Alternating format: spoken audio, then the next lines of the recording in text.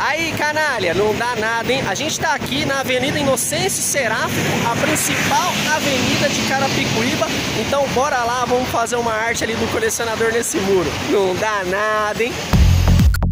Bom, galerinha, no vídeo de hoje eu vim apresentar para vocês a primeira arte de rua do U Colecionador. Isso mesmo, né? A gente fez uma propaganda de rua do canal do U Colecionador aqui mesmo em Carapicuíba, na Avenida Inocêncio Seráfico, uma das maiores avenidas, a avenida principal de Carapicuíba, que fica localizada ali depois da Igreja Amarela, sentido centro, né? E no episódio de hoje o Troll, grafiteiro há mais de 20 anos, né? Ele colaborou com a gente aí em participar aí, né? Eu tô filmando aí exatamente, eu fiz um speedline de 6 horas aí do trabalho dele, né? E cara, ficou simplesmente incrível, né? E graças a você, inscrito recorrente do canal, você que está aí no dia a dia acompanhando, participando do crescimento do canal, se Deus quiser, essa vai ser a primeira de muitas que a gente vai estar tá fazendo, né? Em especial, eu queria agradecer o Tron, eu deixei umas fotos, né, do trabalho dele no final do vídeo. Então, quem quiser contratar ele para fazer algum serviço, né, o link, os endereços dele na eletrônico estão na descrição.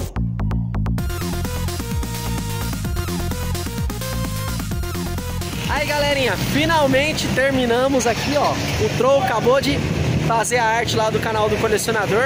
Bora lá, vamos conhecer o artista e ver como é que ficou de perto.